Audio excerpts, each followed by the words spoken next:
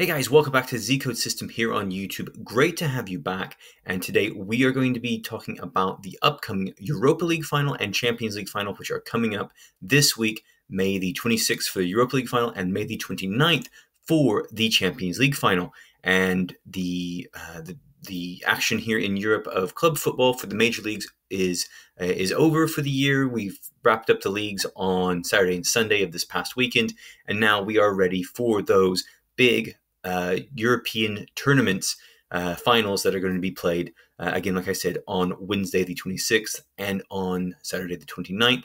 And then we're going to be getting into the international football, which will be taking center stage over the summer with the Euro 2020 tournament and I believe Copa America down in South America. Um, today, we're going to talk specifically, like I said, about the Europa League and the Champions League finals. And of course, you can go over to the Z Code System website there. We posted yesterday about the WNBA 2021 season, and uh, I profiled that on our YouTube page as well with a video. So you can check out on that because we had a lot of demand about uh, uh, having picks and as well as having tools for betters for the WNBA so they can get into that basketball action all summer long.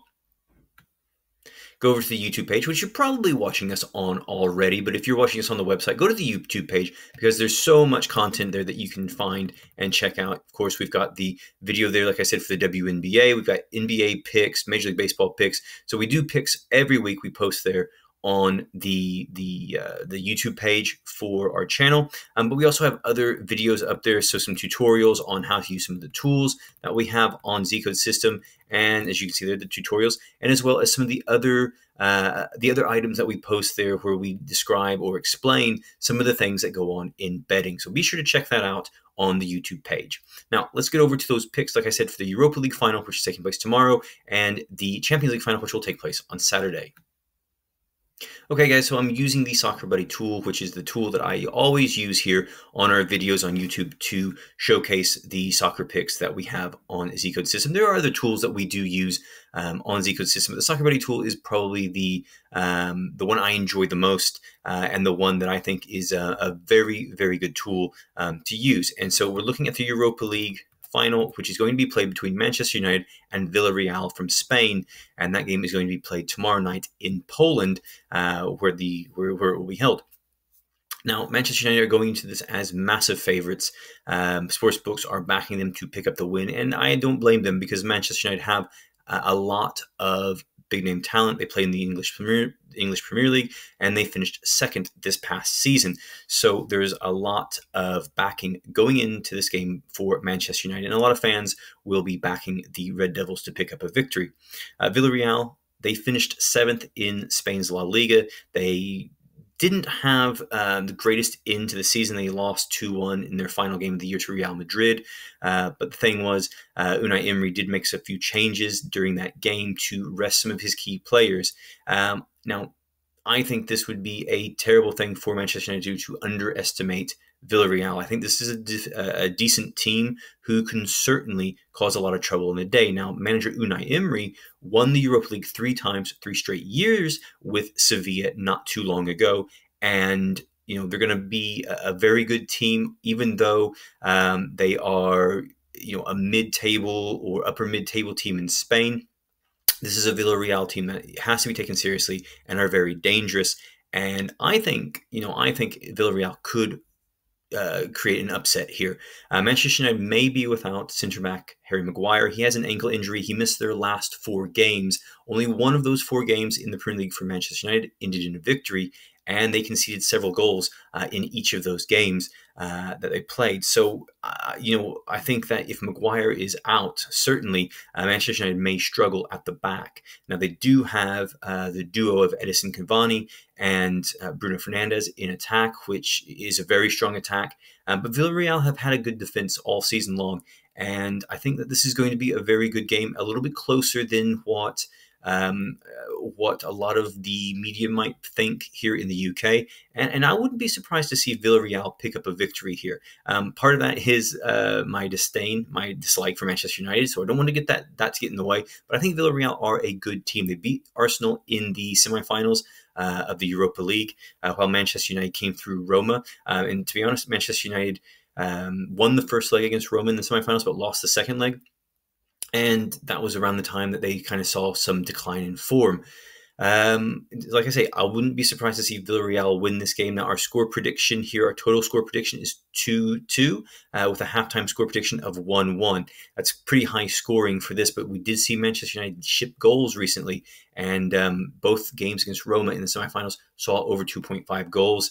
Uh, Villarreal's first leg win over Arsenal in the semifinals uh, finished uh, with over 2.5 goals. Now, their second leg game, they they really had to, to hunker down defensively, uh, and that game ended with under 2.5 goals. It was a nil-nil draw uh, in which Villarreal were able to progress. So I like Villarreal in this game to um, to uh, pick up a win and, and shock Manchester United. I know a lot of people won't be uh, backing me uh, or following me, perhaps, um, but I'm, I'm going based on the fact that Unai Emery is very good in this tournament and he won it three years in a row with Sevilla not too long ago.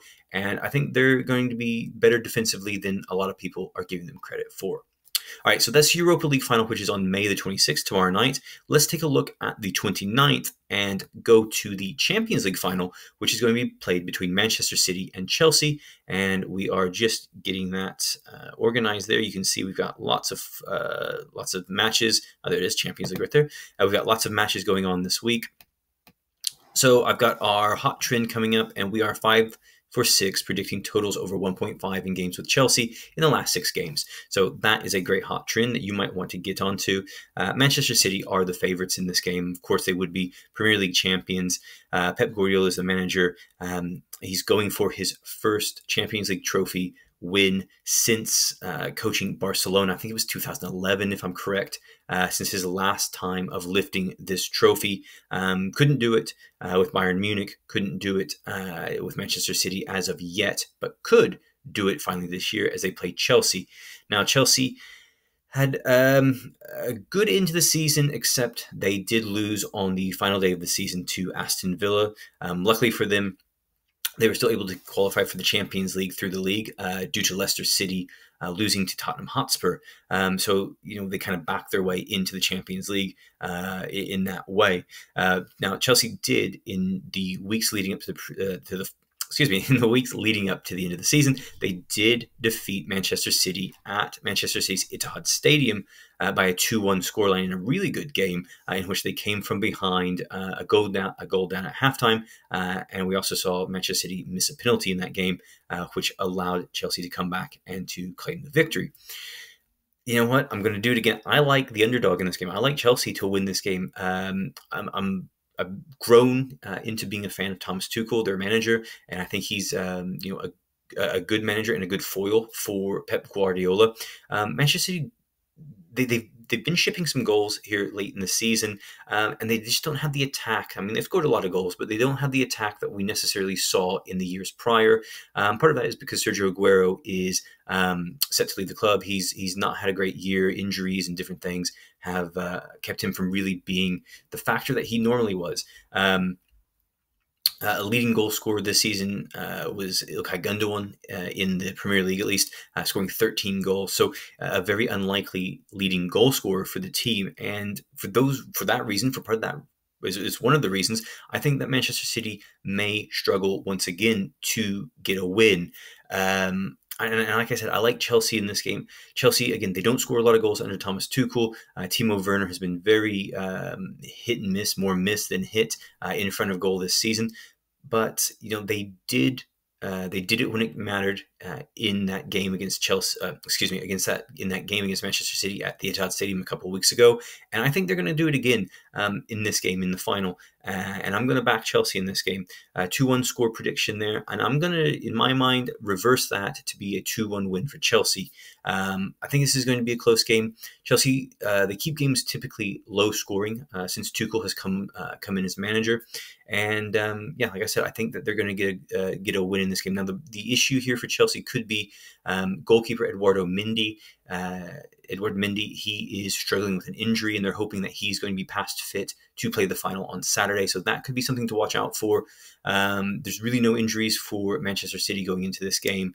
Uh, Pep Guardiola has a, a, clean bill of health uh, with his players, um, but I wouldn't be surprised if the citizens struggle to step up when it matters uh, in the big game. They've never been to the Champions League final before.